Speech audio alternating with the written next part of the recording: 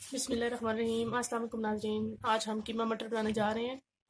कीमा मटर बनाने के लिए हमें जिन अज्जा की ज़रूरत है, वो ये है, प्याज है, हम ले लेंगे दो दरमियान साइज़ के बारीक कटे हुए। कीमा हमें चाहिए आधा किलो। मटर हम ले लेंगे एक किलो बॉयल किए हुए। टमाटर इसमें चले जाएँगे मैश किए हुए, तकरीबन दो से तीन अदद। मसाला चार जो इसमें हम शामिल करेंगे, वो हैं लाल मिर्चें एक चम्मच रंगदार मिर्चें एक चम्मच सूखा धनिया दो चम्मच, नमक एक चम्मच, हल्दी आधी चम्मच और ज़ीरा एक चम्मच। इसके अलावा हमें चाहिए अदरक लहसुन का पेस्ट एक चम्मच बारीक पीसी हुई। नाजिन इसमें ऑयल चला जाएगा एक कप तो चलिए आइए नाजिन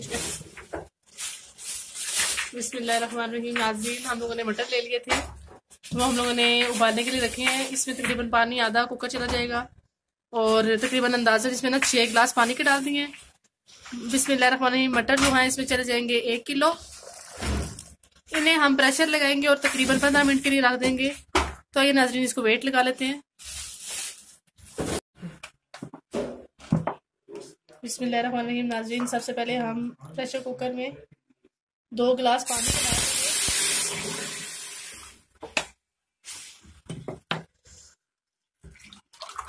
बस।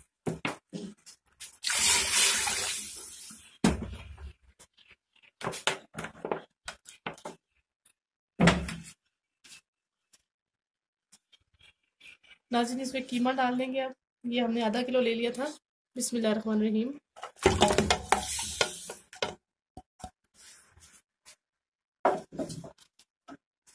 अब इसमें प्याज शामिल कर देंगे।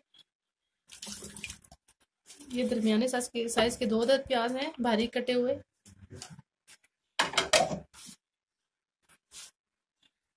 टमाटर भी इसमें शामिल कर देंगे। ये दो से तीन अदद हैं।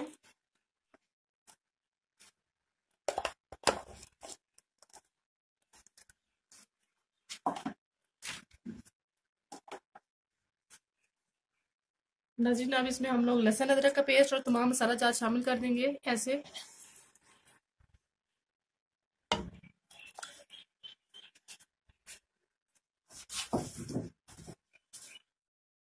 अब पंद्रह मिनट वेट लगाएँगे। इसमें नाजिन, ये देखिए, बीस मिनट हो चुके हैं।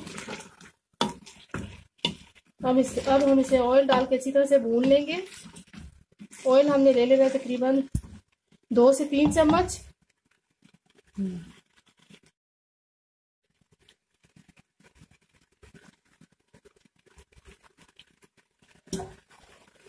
ये तकरीबन इसमें चला गया आधा कप। नाजिन इस ऑयल में अच्छी तरह से कीमे को भून लेंगे। मटर हमने इसमें इसलिए शामिल नहीं किए थे क्योंकि मटर हम लोगों ने इसमें बॉईल करके निकाल लिए थे और पानी उसका गिरा दिया था।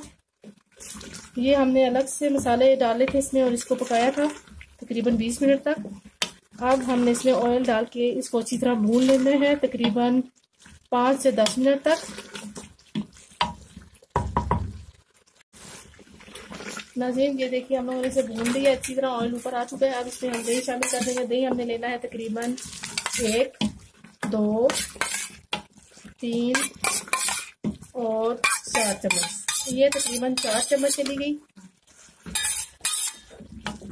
नाजीन, हमने इसमें तकरीबन तीन से चार चम्मच दही की शामिल कर ली है। अब इसको अच्छी तरह भून लेंगे, मज़ीद दस मिनट तक।